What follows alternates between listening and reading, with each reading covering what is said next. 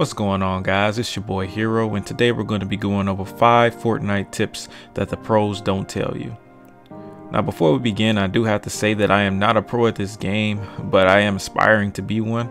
In the process of becoming better one must study his peers and contemporaries to learn everything he can. So in the case of Fortnite I have spent hours studying the strategies and thought processes of the top players of the game and I've also become a much better player for doing so so I'm sure this video will help you do the same.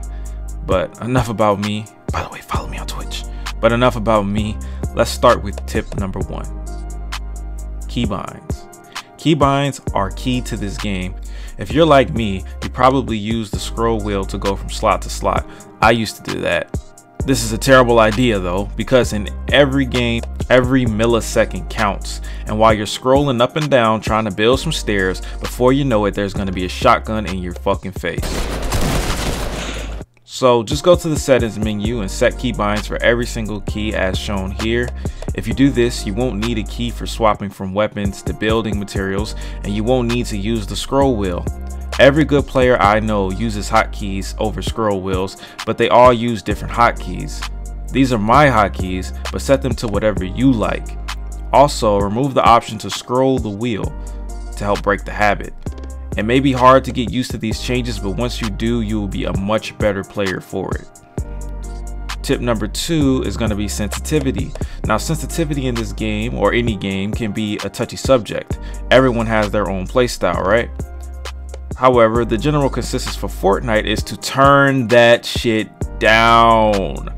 The lower your sensitivity is, the more accurate your mouse will be when aiming shots. What I recommend doing is setting your sensitivity very low, dropping in a game, and then testing said sensitivity, raising it incrementally until the mouse moves quickly but smoothly. The mouse moving smoothly is far more important than it moving quickly, but if it does move too slow, don't be afraid to turn it up a bit. Once you've gotten used to your sensitivity, we can go to tip 3. Practicing. Now, of course, you can get practice in the games, and that's going to be the best practice for you. The only problem with that is that this is a battle royale game, and well, if you land too close to other players, you might get blown up. If you land too far away, you might be running for hours and hours without a single player to shoot at. That's not going to help you, but what will help you is practicing your tracking.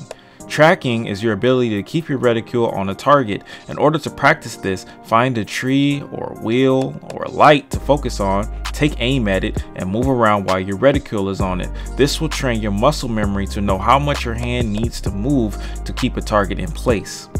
Also, to take it a step further, you can do this in the pregame lobby with players who move around a lot. This training will be closer to a real situation. Unfortunately, the pregame lobby is usually very short-lived. Tip number four, wear headphones. I'm not sure if people know this, but sound in Fortnite can be almost as important as your vision. I can't tell you how many times I was able to save my life just by listening. Someone could be hiding in the basement of the house you're in, someone could be on your roof, someone could be flying in on a glider, someone could snipe you and miss and you need to know what direction it came from. Uh, you get the idea. Wear headphones if you want to take this game seriously. Tip five, and the most important tip build faster and build better. A lot of people will tell you to build, build, build, but they don't explain when or how or why to do so. There are only two times a player ever builds one, when he wants to get somewhere, or two, when he wants to get some cover. So there's aggressive building and defensive building. Typically, when you build defensively, it's at end game when everyone else has forts, or it's when you're being shot at. If you're getting shot and you have no idea where it's coming from, you need to be quick and build walls all around you and then figure out where the shots are coming from. If you know where it's coming from, you can build like this, just make sure you do so in layers. Now let's say you're building aggressively. Now the first priority to aggressive building is altitude. The player who has the high ground always has the advantage. If you watched Revenge of the Sith, you would know this. You underestimate my power! Don't try it! High ground! Make sure you are always trying to get above your opponent and if someone does get above you, take appropriate measures to ensure your survival until you can readjust, even if that means running away. The biggest tip I can give is never, and I mean never, give up the high ground once you get it. I can't tell you how many times I've gotten the best of my opponent and I just gave it all up because I wanted to chase them down. Don't do that. Learn from Obi-Wan, wait till he comes for you, and let him have your lightsaber. Uh, no homo. When it comes to building materials, wood is better for when you're being shot at because it builds the most health fastest.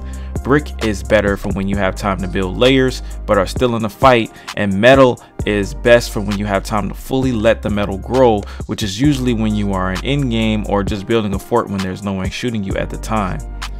And that's it guys, those are the five tips that the pros don't tell you. If you enjoyed the video, please hit me with a like and share the video with your friends. Also subscribe for more Fortnite videos. It's your boy Hero. See you guys next time. Peace.